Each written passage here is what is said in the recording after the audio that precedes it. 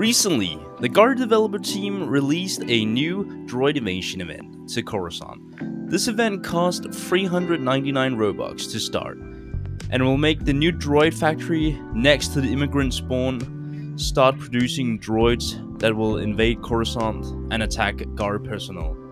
The droids are able to break down doors up to clearance free and follow people through teleporter doors.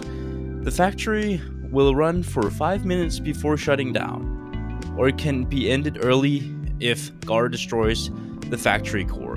Both Raiders and GAR have objectives that are reward credits, so let's get through them.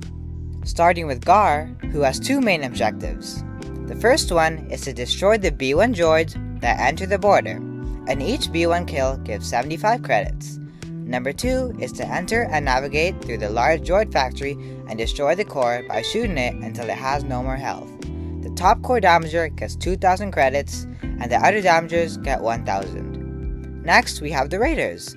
They only have one objective, which is to protect the core from being destroyed by GAR. If they're able to keep the factory running for 5 minutes, it'll award all raiders near the factory 1,750 credits. This is an extremely unique update and was very well made. Thanks for watching and stay tuned for our next videos.